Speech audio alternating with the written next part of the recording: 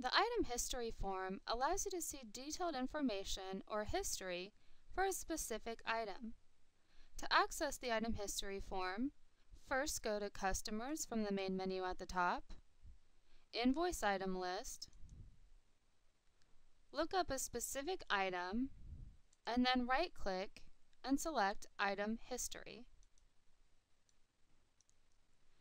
There is a Sales tab which shows sales and invoices, estimates, or credits that this particular item has been selected on, checks, where a check was written with this item selected, purchase orders with this item selected, vendor bills with this item selected, item receipts with this item selected,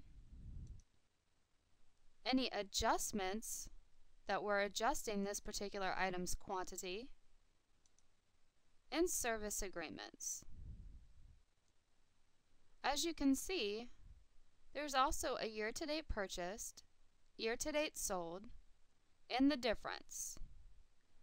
There's a total purchased, total sold, and the difference. I can also see a total amount of adjustments and the total quantity on hand or total quantity back ordered. For more information on the item history, click F1 and read the help topic on item history.